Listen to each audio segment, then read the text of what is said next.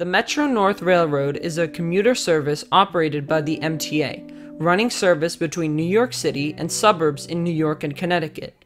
The service operates to cities like Yonkers and White Plains in New York, and Stamford, Bridgeport, Waterbury, and New Haven in Connecticut.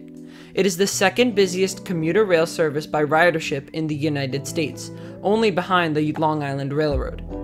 Currently, all Metro North trains use Grand Central Terminal as their exclusive midtown terminal, using the Park Avenue Tunnel to run through Manhattan.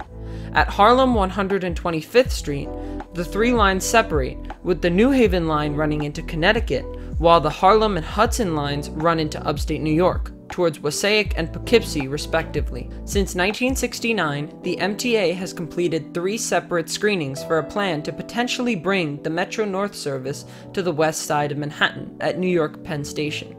It would open up access to the other side of Manhattan for commuters from upstate New York and Connecticut.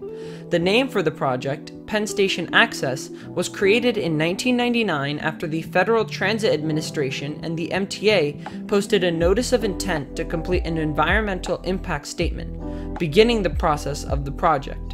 Penn Station Access would be a complement project for the East Side Access Project, which was a plan that saw Long Island Railroad bring operations to Grand Central Madison instead of Penn Station.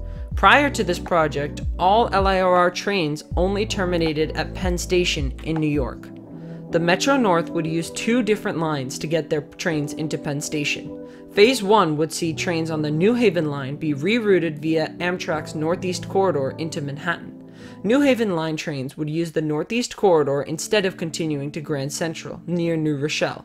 From there, Metro North trains would use the Northeast Corridor to access Penn Station, using the Pelham Bay Bridge to cross into the Bronx, then the Hell Gate Bridge into Queens, before crossing under the East River using the East River tunnels, which are also used by Long Island Railroad and terminating New Jersey Transit trains into Sunnyside Yard.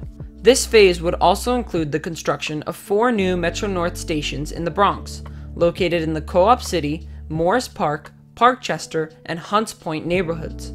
Phase 1 of Penn Station Access completed its design process between 2019 and 2021.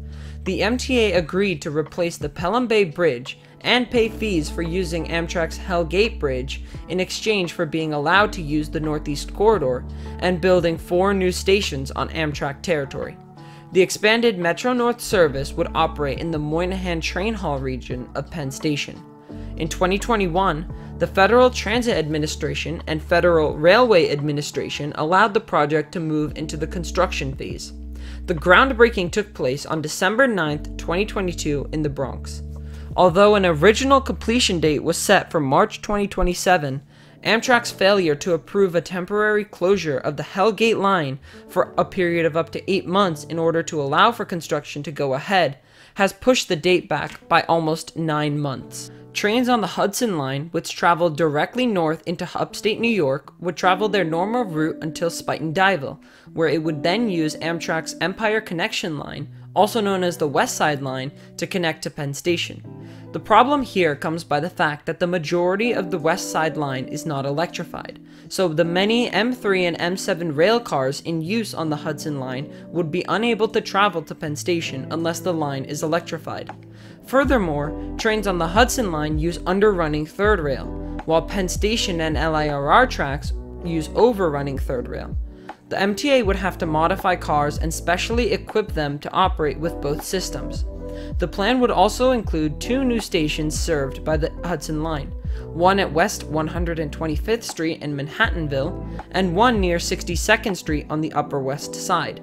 This portion is considered Phase 2 of the Penn Station Access project and has therefore not undergone construction just yet. Alongside the new tracks, interlockings, and stations being constructed, new AC and DC substations would be created along the line, because Metro North's M8 rolling stock aren't compatible with Amtrak's 25 Hz catenary system. So, there's a quick look at the next commuter rail project in New York City.